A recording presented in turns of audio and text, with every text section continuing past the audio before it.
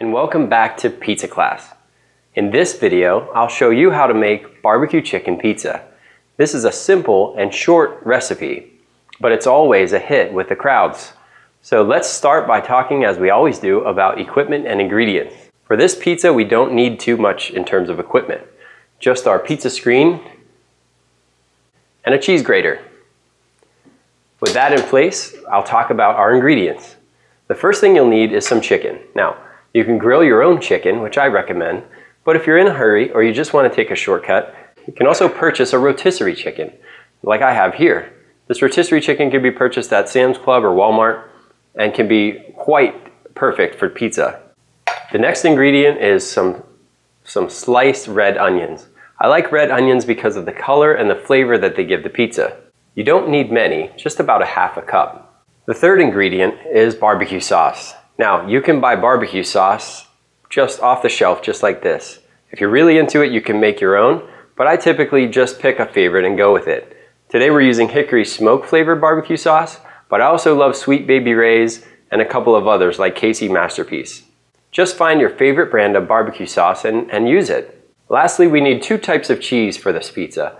Our whole milk mozzarella in block form and some mild cheddar also in block form. We're going to grate this cheese and use it on top of our pizza as a blend. So we'll begin with some white meat from the chicken breast and I've got some thigh meat here as well. Just going to cube that. Really half inch is fine. Small enough so that we can spread it on the pizza. And once you've got your chicken cubed, we can combine that with our barbecue sauce. You only need about a half a cup. I just like to drizzle it on top and mix it up. We're gonna put a little bit more of this on the base, but I like to combine the sauce with the chicken so that I'm sure that it's coated. Got our chicken coated, it's time to set that aside. Our next preparation step involves shredding our cheese.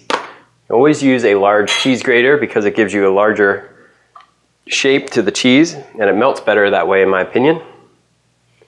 So we'll start with the cheddar. Doesn't really matter. You can start with the mozzarella if you'd like. And we're just going to get about a half cup of that. And then we'll add our whole milk mozzarella cheese. Shred that right on top. We're going to blend these together to become the cheese for the top of our pizza. Now we've got our cheese and we're ready to begin prepping the pizza base. Here I've got a dough ball that I've made a couple of days ago and it is ready to become a pizza. So we'll start by getting it out of the container. I like to lightly coat that so it doesn't stick to my hand. And I've let this dough ball come to room temperature. I like to place that into my Caputo flour Rest that on my bench. And we're ready to shape this pizza. So as always, we start from the edge of that pizza and form our crust. And using the flat part of three of your fingers and you're using your hand as a stopping point. You don't want to press that crust too much, just enough to form an outer rim. Once we've got our crust formed, we pat, pat down the middle lightly. And we're ready to stretch this into a pizza. So we'll grab our pizza screen. Taking our fish, just the bottom of our fist like that, and we're stretching the outer edge.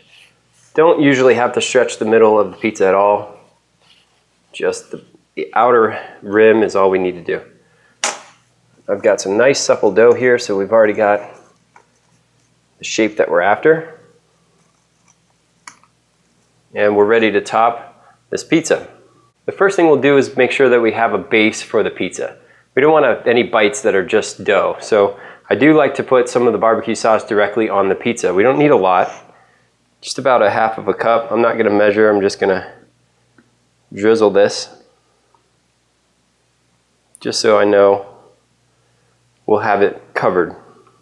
We'll take a spoon and give ourselves a Real light base. You don't need a lot here. Unless you like your barbecue sauce a lot, you don't want to overpower the rest of the flavors in the pizza with the cheese and the chicken. Uh, it's a little too light, so I'm going to add just a little bit more. Again, experimenting is really a good thing. So if you try this pizza and you didn't use enough sauce, you can add more the next time. But I like to just kind of give a nice even coat to the base of that pizza. The next step is to add our chicken back into the pizza. So we'll just sprinkle that around the pizza. This is a messy one.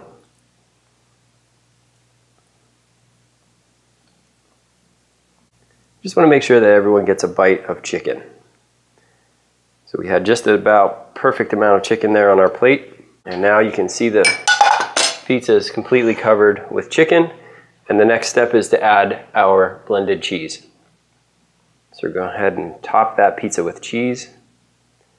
Just gonna go all the way around. And our final step is to add the red onion. And again, the red onion is really just a garnish. I like to keep the slices large in case I have people who want to remove the onions. I also like how it looks. And a red onion is not an overpowering flavor, so it does a good job for this pizza. And our barbecue chicken pizza is ready for the oven. We're about to put this barbecue chicken pizza in the oven. Now our oven has been preheated for over an hour and it's at 485 degrees. So we'll place the pizza in the oven for about eight minutes and we won't open the door until that timer dings. Our, okay, our barbecue ch chicken pizza is ready to come out of the oven. We'll just take it off of the tray there.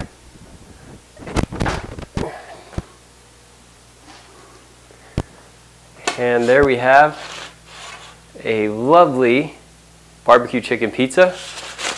And we're ready to cut that pizza.